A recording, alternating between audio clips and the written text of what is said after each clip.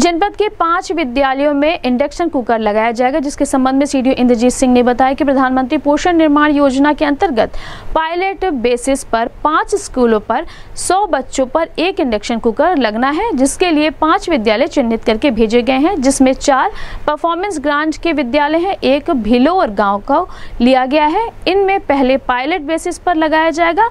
उन्होंने कहा, अभी तक जो हम एलपीजी गैस से कुकर का प्रयोग मध्यान्ह भोजन बनवाने में करते थे, वह अब सोलर इंडक्शन कुकर से बनने लग जाएगा, जिससे जो हमारा ईंधन का खर्चा है, वह बचेगा।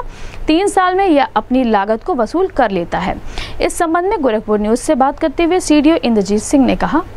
आज प्रधानमंत्री पोषण निर्माण योजना के अंतर्गत एक प्रपोजल यूपी ने आया है। पायलट बेसिस पे पाँच स्कूलों पे, सौ बच्चों पे एक इंडक्शन कुकर लगना है। और उसके लिए पाँच विद्यालय चिन्हित करके भेजे गए हैं। चार परफॉर्मेंस ग्रांट के विद्यालय हैं। एक जो है बिलोरा गाँव लिया गया है। और इनमें पहले हम लोग पायलट बेसिस पे लगाएँगे। इसके बाद हॉट कुक में, में जो मील है जो अभी तक हम एलपीजी से करते थे तो वो अब सोलर जो हमारा ये इंडक्शन कुकर लगेगा इससे बनना लग जाएगी। इसके हमारा जो खर्चा है आ, उसके ईंधन का, का बचेगा। जो हम फ्यूल यूज़ करते हैं उसमें बचेगा।